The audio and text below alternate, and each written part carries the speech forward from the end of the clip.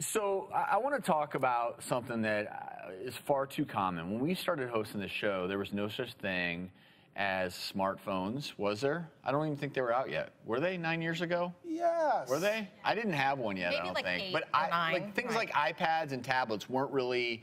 Right. Remember when we started the We show? had- we, we we had carried around. iPads. No, we carried around three ring binders for every show.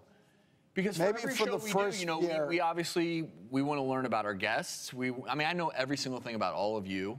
Uh, where you shop. What, no, but we, we used to carry around these three ring binders with all of the information of, of guests who are appearing on the show, et cetera. Well, I think it was in season two when That the we got the came out. iPad, yes. What this is all leading to is is this digital heroin? Because what we're finding with kids is kids who overuse these digital devices, it has a drug like effect directly on their brains.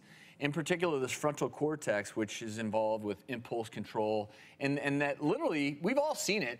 A kid is sitting there staring at their tablet, and they look like they're on heroin. Uh, they, they're, in a, they're in a trance, and you, you push them, you yell in their ear, and they're Or- still in. Yeah, I They saw a have kid in a tuned restaurant. out. I literally saw a kid in a restaurant the other day, and he was like this, like shaking it. I don't know if he was playing something or what, but I. Well, it's that game like where you gotta a fit. move it to.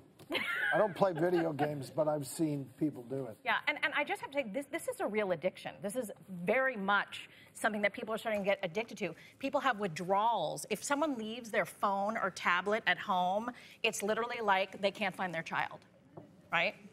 So, how do you prevent a kid from becoming addicted? And then, if they are addicted, because I know parents out there are watching right now, probably parents in the audience who have kids who truly are addicted, how do you get them to go through a digital detox so that they can overcome this legit Right. affliction? Well, literally, it is like a detox. So, part of what needs to happen is that they need to be removed from their devices, and it needs to be for long periods of time.